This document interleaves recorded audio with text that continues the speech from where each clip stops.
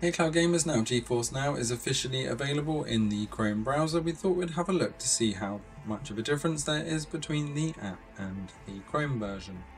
So using Cyberpunk 2077 here as a test, you can see I've got everything set to high with ray tracing on and DLSS on performance mode. Side by side then, as we're just looking around, we don't see a lot of difference. A little bit of pixelation and cracks on the floor there on the Chrome version, but generally if you look at the colours, the colours actually seem to be a bit better on the Chrome version for some reason. Not quite sure why this is, but it is looking extremely good, and I think I actually prefer the colours on the Chrome version. As we hop into the car, you're going to notice that a little bit more. If you look at the back of the car here, and also the banners as we come down the road, it seems much more vibrant, and weirdly the car looks actually clearer on the Chrome version than the app version. As we freeze here, ignoring the slight daytime difference, the car still looks clearer and those reflections look a little bit smoother on the chrome side and also looking at the background just looks a little bit clearer. I'm not quite sure how Chrome is rendering this better than a native app, but it certainly seems that way. As we look at Chrome full screen, you really wouldn't be able to tell that this wasn't running a native app. As we switch back over to the app version then, Again, we see a little bit more kind of blurriness around the edges of the objects here, and it does seem to drop that FPS a little bit more, or it's just a little bit more obvious.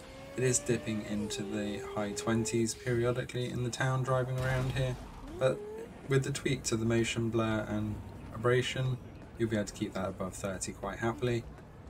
Again, side by side as we're running down the pavement here, Chrome just seems smoother um, I'm not sure why we seem to see more head bob or jerkiness with the app side, but again, looking at Chrome full screen, it's very smooth moving around and these details really seem to pop on the color side.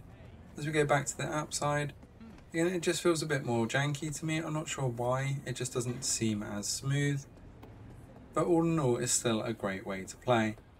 As we show a little bit of the combat, again Colours looking absolutely fantastic on Chrome and no input lag on either.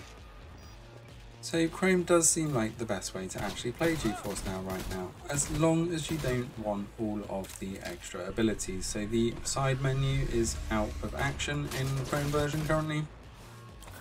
So there'll be no recording or screenshotting or highlights by the looks of it at the moment in the Chrome versions.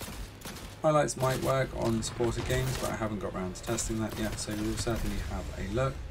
But the other functions like photo mode and recording are definitely off the table in Chrome right now. So if you do want these abilities, you will still need to use the app version.